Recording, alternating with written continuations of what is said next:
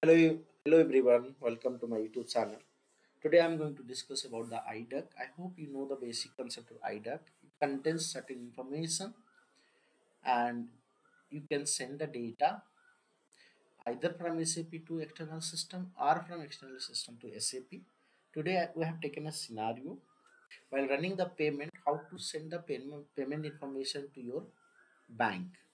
Okay, so these are the steps you have to perform in FBZP, you have to inform in three places paying company code, payment method in country, payment method in company code. So let us go and quickly check it. FBZP, payment method in company code. Come here, ATIN. This is my company code. Come here and make sure you have entered this one. Come to second step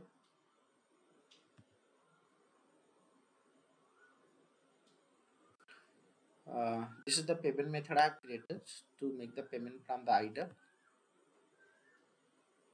Come here, make sure you have entered this one.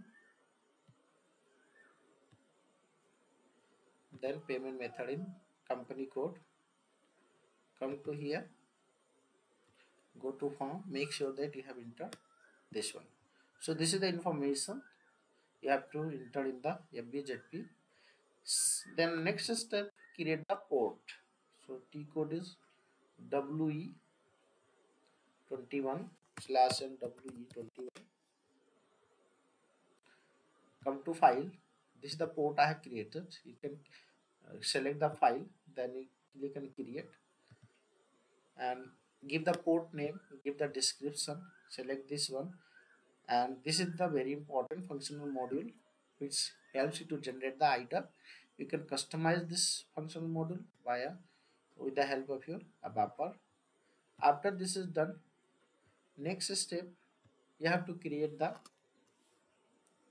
partner profile. Before that, you can go to house bank FI12,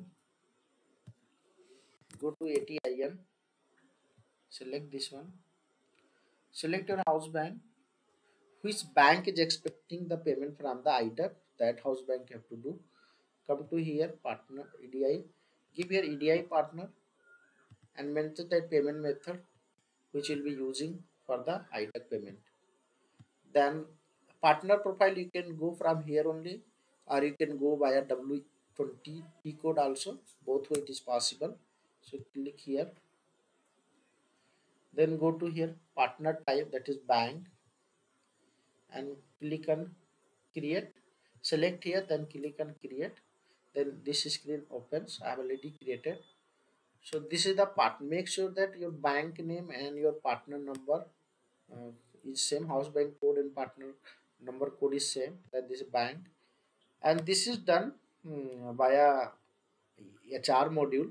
So this is nothing but who is responsible for this uh, in case any problem comes so who is responsible uh, that is what you have to create in the HR module so I have created ATEL because my company code is ATEL.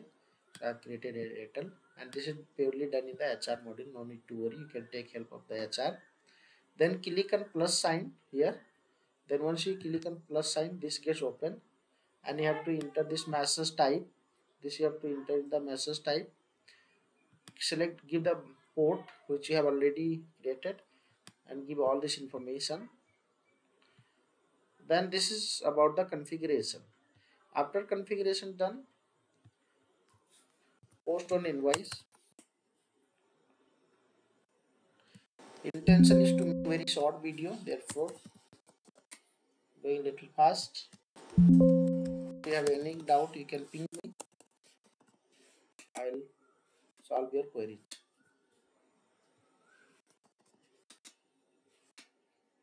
post it now run the payment. Slash n f10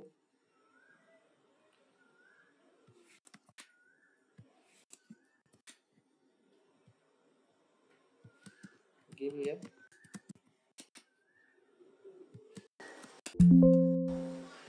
go to additional log here. As usual.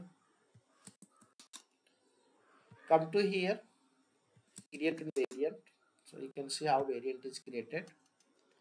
If you're paying company code uh, paying company code sending company code all this information you have to enter.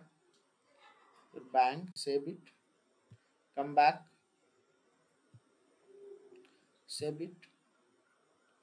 Run the proposal. Check it once. See here when you are making the payment IDUC were generated in this way also you'll get to know whether this payment method is applicable for IDUC payment method or any other payment method now run the payment okay and this is the document number got generated some 12 copy this we'll see whether then print it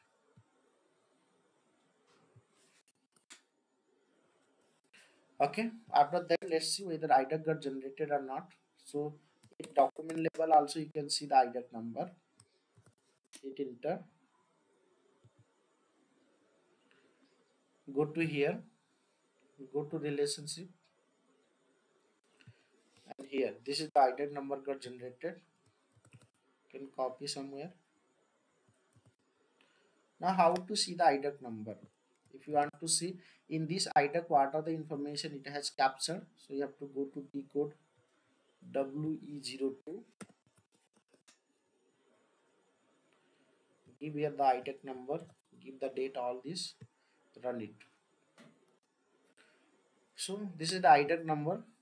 IDOC has three segment so this control data data records status. So everything is green now you want to see in this IDOC what are the information? These are known as a segment. So this is completely done by your ABAP consultant even you can also do. But prior to that you need to know in which segment what information your bank is expecting. So for example here if i click something it is capturing. Here if i click amount it is capturing. Here it is so here vendor information it is capturing. So all this field and segment is up to you how you want to design what are the information your bank is expecting thank you so much for watching the video. I will come up with another uh, IDOC videos in which I'll be talking about the theory part. But this is about the configuration.